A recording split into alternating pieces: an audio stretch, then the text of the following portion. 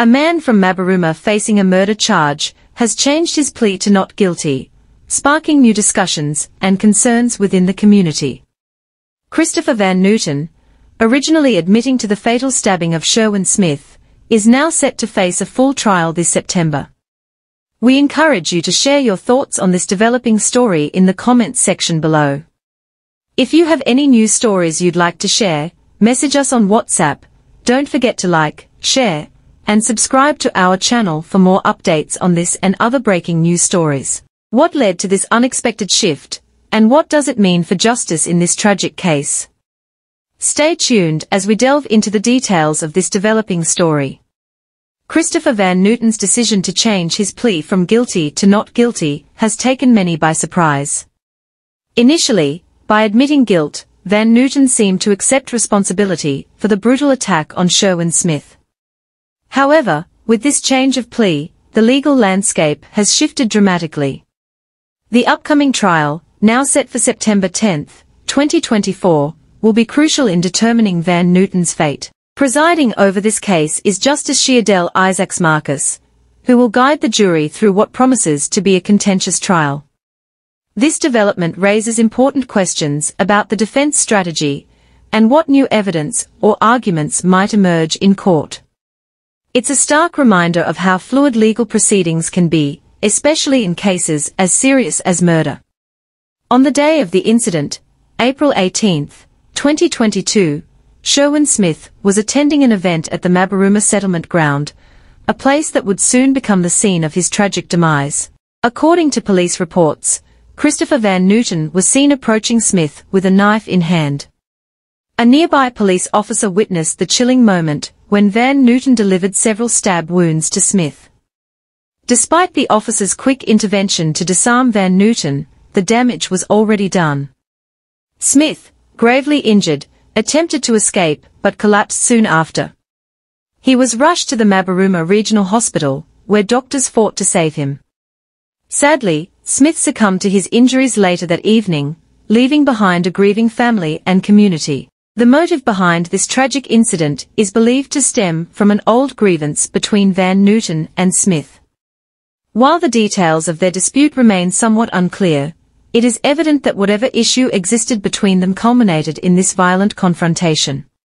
The case has stirred emotions in Mabaruma, with many questioning how such a conflict could escalate to such a deadly extent.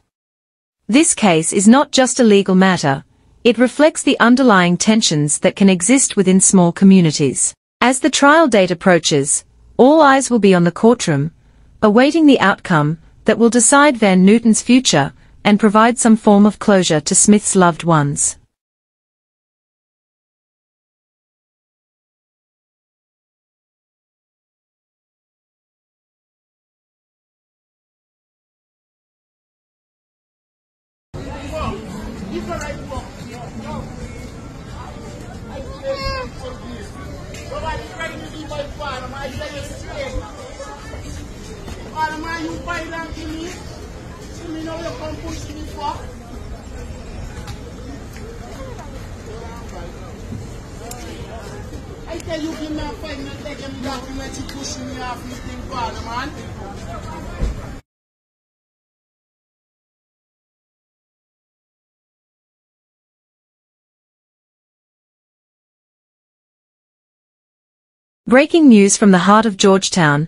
chaos erupted at Camp Street Prison today, as a convicted murderer, Bevon Griffith, made a daring attempt to escape by scaling the prison fence. But swift action by vigilant officers prevented what could have been a catastrophic breach of security. In this video, we'll break down exactly what happened, the heroic response by the prison officers, and the stern warning now issued to all inmates. We encourage you to share your thoughts on this developing story in the comments section below. If you have any news stories you'd like to share, message us on WhatsApp, don't forget to like, share, and subscribe to our channel for more updates on this and other breaking news stories. Bevon Griffith, a convicted murderer, shocked everyone today when he ran out of his cell during the lockdown process and made a bold attempt to scale the fence at Camp Street Prison. The situation quickly escalated as officers noticed Griffith's actions and responded with decisive force, shooting him before he could make it over the fence. Griffith was immediately restrained and then transferred to the Georgetown Public Hospital Corporation, GPHC, where he is currently receiving medical treatment. This incident not only highlights the risks within our prison system, but also the critical role of officer vigilance in preventing potentially dangerous situations. In the wake of the incident, Director of Prisons, Nicklon Elliot, commended the officers involved for their quick and effective response.